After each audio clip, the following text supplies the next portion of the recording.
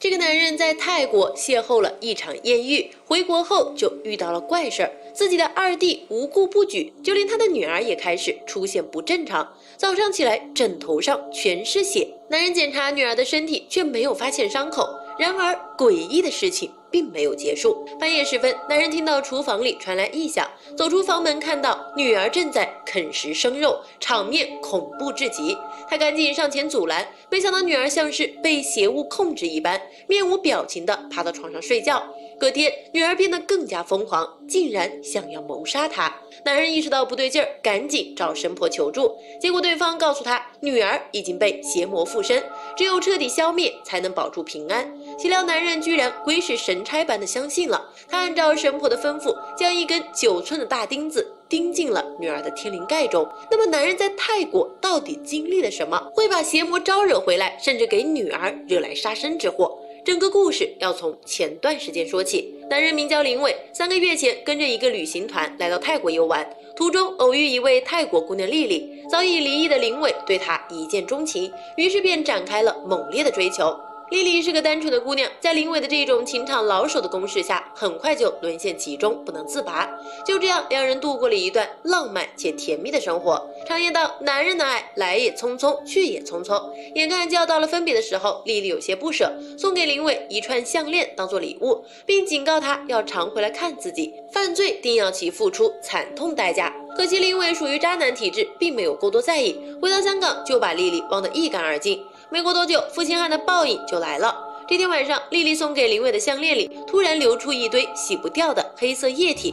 也就是从这以后，林伟发现自己玩不了针线活了，女儿也开始变得不正常起来，而且胸前还长了一片浓厚的黑毛。意识到不对劲儿，林伟赶紧找到一位神婆求助。神婆通过占算发现林伟被邪魔缠身，而邪魔就是他身边最亲近的人。这个邪魔十分厉害，要想彻底消灭，必须要用一根大铁钉砸进被附身之人的脑袋里。从神婆这里回到家，林伟就时常出现幻觉，感觉女儿要加害于他。就这样，林伟亲手杀死了自己的女儿。事情发生后，他将女儿的尸体埋到山上处理掉。可是很快，尸体就被人发现，报了警。负责此案的警员名叫老黄，他通过一系列走访调查，找到林伟这里。见警察找上门，林伟也不再反抗，承认自己杀了人。最终，林伟以谋杀罪被判死刑。等待执行期间，林伟越想越不对劲儿，感觉自己像是被人下。下了降头，不受控制做出了这些事情，于是便找到老黄，将所有情况告知，希望他能帮自己查明真相。接着林伟还把胸前的毛和项链的事情一并说了出来。听完林伟的话，坐在旁边的老黄若有所思，最终同意帮他查一查。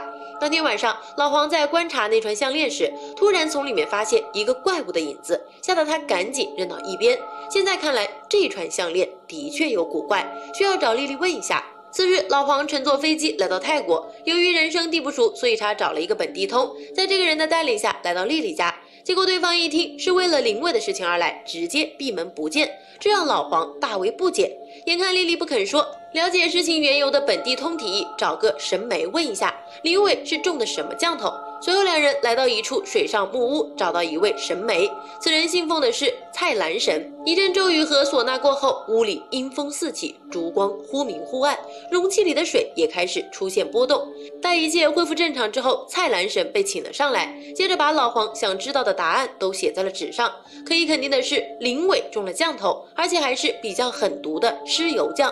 这种降头需要在月圆之夜去找一个死了没多久的孕妇尸体，施法取出她身。上的尸油，然后祭坛做法给林伟下降头。没错，给林伟下降头的人不是别人，正是丽丽。丽丽怕林伟是个负心汉，就在跟他相处时，偷偷拿到他的毛发和生辰八字，找到降头师，让其制造了一个尸油降，而尸油就被放在那串项链中。如果林伟能及时回来看丽丽，那后面的事也就不会发生了。林伟在中了尸油降后，就会出现幻觉，始终感觉身边最亲近的人要杀害他，只不过现实却刚好相反。这种情况下，林伟必然会杀最亲之人，然后他也会因此受到惩罚，最终全身溃烂而亡。这就是尸油匠的恐怖之处。这时老黄又问了一个问题：中了尸油酱还会导致生理机能出现障碍吗？蔡澜神表示，这种现象是中了棺材匠。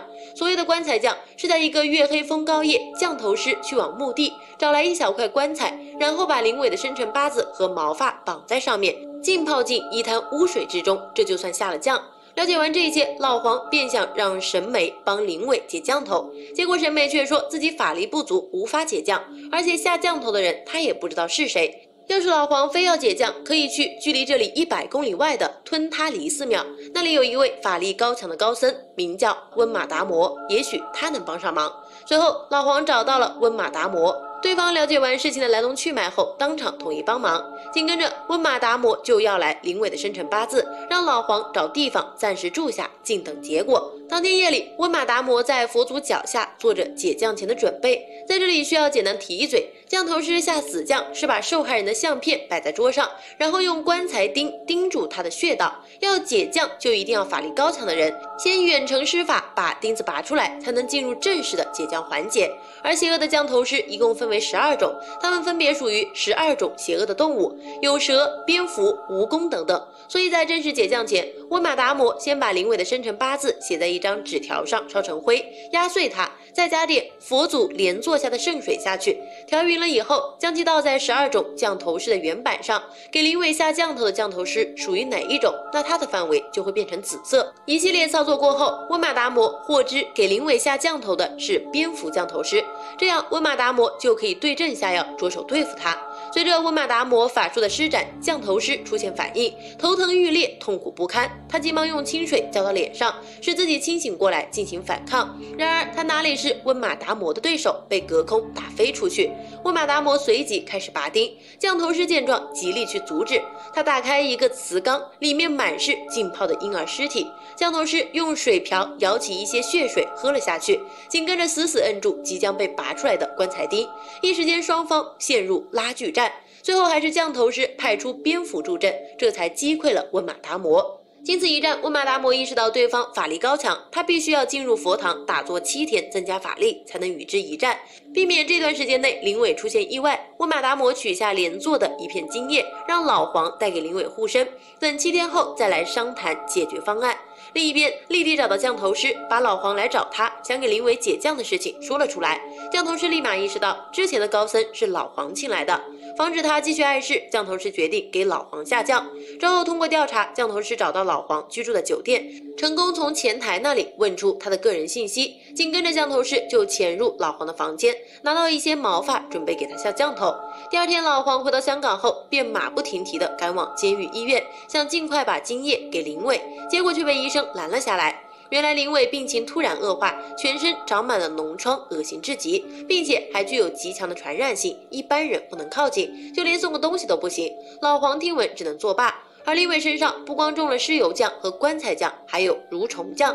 没过多久，这种降头也随之发作。只见林伟从嘴里吐出一堆蠕虫，身体剧痛无比。林伟忍受不了这种痛苦，最终选择自尽身亡。此刻降头师也来到香港，开始对老黄一家进行监视，找机会准备下降头。这次他用的是柠檬酱，把得到的老黄照片塞进一个柠檬里，然后找来几条毒蛇。取出蛇胆，放进碗中捣碎，接着把几根银针浸泡在里面。随后，降头师又从活鸡体内取出一颗跳动的鸡心，将银针插在上面。事成后，降头师把银针拔下来，插到柠檬上，埋在人潮汹涌的大街上。只要有人踩上一脚，老黄的心脏就会跟着疼一下。好在降头师埋柠檬的地方修路，柠檬被工人挖出来扔进了垃圾桶里，老黄这才得以逃过一劫。降头师见一计不成，又再生一计，给老黄下了裂头降。降头师把他的生辰八字写在骷髅头上，念咒下降。每当降头师敲一下骷髅头，老黄就会头痛欲裂，痛苦不堪。很快，老黄的怪异表现就被老婆红姐注意到，意识到老公有可能是中邪了，便立马去找一位道士帮忙。谁知对方刚答应帮忙，就被一辆失控的汽车撞死。这时，降头师从远处出现，看着这一切，很显然这是他搞的鬼。至于原因嘛，可能是这个道士手上真的有两把刷子，避免越拖越对自己不利。降头师搜集了一些道士的血，开始养鬼仔，想要直接弄死老黄。幸亏他有金液护体，暂时保住了一命。发生了这么多事儿，老黄一下忘记了跟温马达摩之间的约定，以至于温马达摩来到香港找老黄。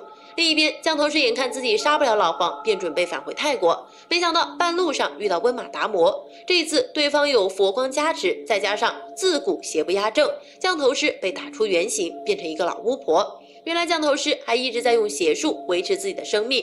最终，降头师在倒地挣扎一段时间后，彻底领了盒饭。